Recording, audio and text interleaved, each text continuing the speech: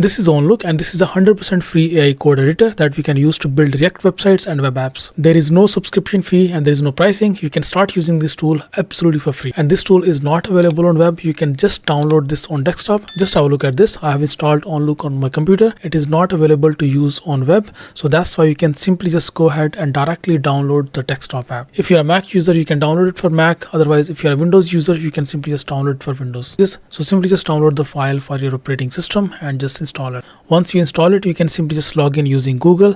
But before you start building something with this tool, let me just tell you a bit more about this tool. So let's suppose I just created this landing page. So in here, you can see for this landing page, I have all of these different layers, just like Figma. So it's so it creates design just like Figma. You can say this is cursor for designers, where you can simply just give it a prompt and it can create your required design, and then it can show a preview in both desktop and in mobile version and then you can create as many pages as you want for your project. So all of the code that it is creating is in React. You can simply just right click and click on this view element in cursor and it will then automatically open cursor and view the code of that particular element right here in cursor. You can now further modify it or you can add it inside your cursor project. So you can see right now I have actually already created a Next.js project and now the code of this design file is directly opened inside my cursor project. That means i can create as many designs as i want in here.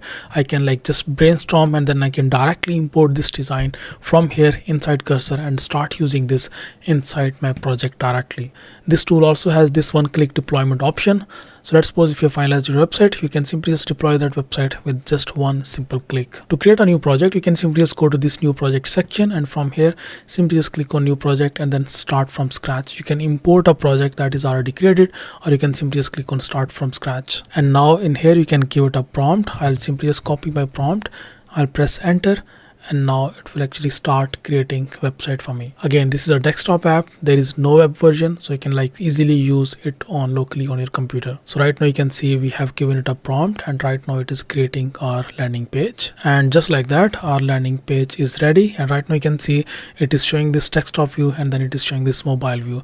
Now each of these elements are clickable. I can simply just like click on each of these elements and then i can like start customizing each of these components from here. I can actually change my screen resolution resolution from here or I can simply just like change my mobile resolution as well and then like preview it in a different resolution. Now to preview this I can simply just go to this preview section and now I can actually easily preview this website. So this is what it has created, which is not bad. This is good enough actually because I provided a very detailed prompt. So it just followed that design guideline and then it created this like amazing looking website for me.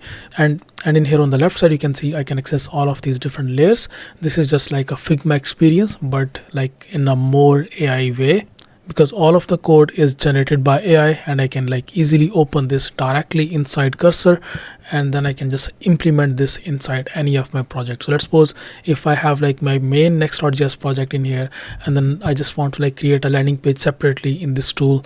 I can just like create in here, then open that inside my cursor project. I can just simply do that. And after that, I can simply just like save that as a separate component or as a separate page and then like link it with my project.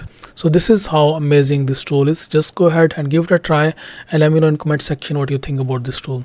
I see you next video. Bye bye.